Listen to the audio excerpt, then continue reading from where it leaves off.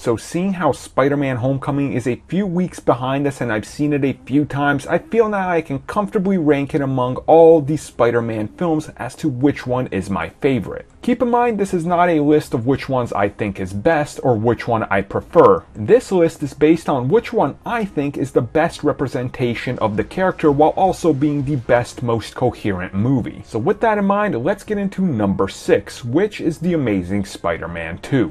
I don't think it's much of a secret that I'm not the biggest fan of this movie. Now, does the film have a bunch of things I like? Of course it does. But when I take the film as a whole, it just has a lot of problems. From the characters having moments that just do not reflect the comics, to the flippy floppy way Peter Parker handles his relationship with Gwen, to the way too many stuffed villains and things to trying to hint at the future of this cinematic universe, the film just leaves a lot to be desired. Now at the same time, let's give the movie credits where it's due. The suit in the movie is probably the best Spider Man live action suit so far. It's straight up ripped off from the comics. Emma Stone as Gwen Stacy is really perfect. But when you watch the movie, keep track of how much Spider-Man is actually in it. Very little. Hell, there's moments where Peter Parker is literally portrayed like he's a moron who doesn't know basic science. And when it comes to the actual climax of the movie, it's very anticlimactic and actually emotionless considering you can see what's happening from a mile away. It really won't surprise me if most people would agree that this is probably their least favorite, or at least in the top two least favorite Spider Man movies. But man, are these comments gonna tell me I'm wrong.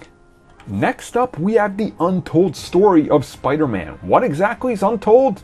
I have no idea, and neither did they. Peter Parker might be engineered by his dad to become Spider Man, maybe not. I don't know. They seem to have cut that out along with half the other movie. Peter Parker is portrayed as unlikable and unpopular, although he's the best looking kid in school, arguably. But then again, he doesn't seem to even invent his own webbing, so they kind of play him off as someone who doesn't really understand what science is, which isn't really Peter Parker if you ask me. But then again, the movie did try something else. They went with the more Spider Man might be a menace and the town does not accept them, which honestly, that's a pretty cool direction to take the character in, and Spider Man has done that in the comics. We finally got to see the Lizard as a villain, so that's really cool considering there's only actually one villain in the film. And we actually got a good Gwen Stacy and not Mary Jane like the Tobey Maguire films. Truth be told, I actually enjoy The Amazing Spider-Man as a film. I think it's a bold new take that they should have stuck with, honestly, and they shouldn't have went more Raimi with The Amazing Spider-Man 2.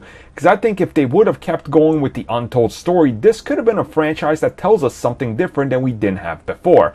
Unfortunately, that wasn't to be. Oh, Spider Man 3, the question of what if we got a complete movie that the studio didn't interfere with. Well, that's exactly what Spider Man 3 will forever be. Now, don't get me wrong, there's a lot I like about this movie. I'm okay with the casting of Eddie Brock. Sandman was probably one of the better characters in the movie. Unfortunately, everything comes crashing and burning when the studio forced Sam Raimi to shove Venom in there. And then also include a dance number that well, the less we say about it, the better. I understand what they were going for, it just didn't come across that way. But this does still remain Sony's biggest movie of all time and also the biggest Spider Man movie of all time. But it's those unfortunate mistakes and directions that they take the movie in that really just kind of don't work too many things going on at one time. And once again, they seem to want to repeat the same thing from the first two movies with Mary Jane and Peter Parker.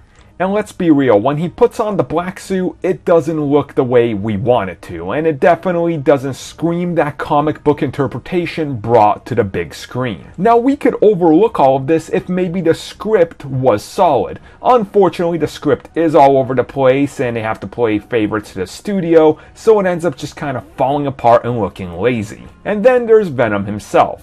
The less I say about him, the better. Next up, the first solo outing for Sam Raimi and his Spider Man. Of course, Spider Man 1 what more is to say about this movie that hasn't been said? This is literally one of the two movies that helped save the superhero genre after the huge bomb that killed it, which was Batman and Robin. Unlike X-Men, which were afraid to embrace the comic book side of it by featuring colors and crazy comic book accuracy, they said, ah, whatever, just do it. Bright suit, bright New York, crazy special effects. In a post 9 11 age where New York needed a, a hero that could come in a perfect perfect time and unite everybody. This was it. Sure, some of the choices on what the villain looked like might not have been great, and sure, Tobey Maguire's Peter Parker and Spider-Man are probably the worst ones when it comes to defining and comparing him to the comic book character. You can't deny that these movies have definitely become classics in Hollywood, spawning many iconic scenes and even being the reason that the Marvel Cinematic Universe exists today. And of course, if you can pull off one villain, it probably means that you have a very solid script, and they definitely do. After that, we see the follow up to Sam Raimi with Spider Man 2 and my personal favorite Spider Man movie.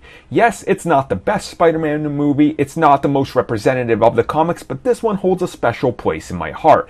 And what's there to say about it that isn't true? And what can I say about this movie that hasn't been said before? When you think about movies that many critics will hail as one of the top comic book movies, and not just that, one of the top movies of the last decade, Spider Man 2 will show up in those lists. They took everything that worked about the first and fixed it and improved upon it. They took the things that didn't work and improved upon those. Every single actor has time to shine, and we really see a great Spider Man story with one villain that is very closely tied to the hero. We see Spider Man in an emotional wreck state. And we get those stories that we love from the comics where he is having a really hard time balancing out everything he has to do.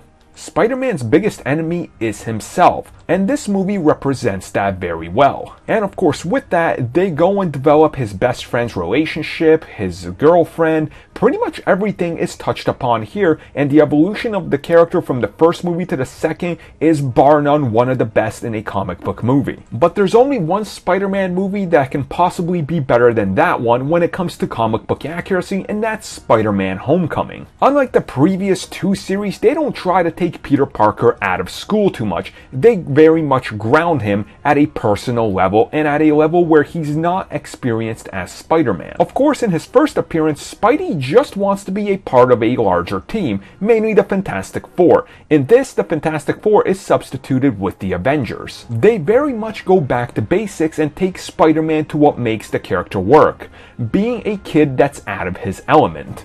Once again, he fights only one villain, who this time is, of course, the Vulture. And of course, we even see him develop some of these relationships that might even have ties to the villain himself. And the film definitely delivers what is the definitive version of Spider Man and also Peter Parker. He's witty, he's funny, and he knows when to take it seriously when he has to. But he's still very young and naive and having a fun time, just like Spider Man was in the early comics. Overall, Spider Man Homecoming is probably the best interpretation of the character in live action so far, and I definitely think that as well. You guys let me know what you think is the best representation of the character so far in live action.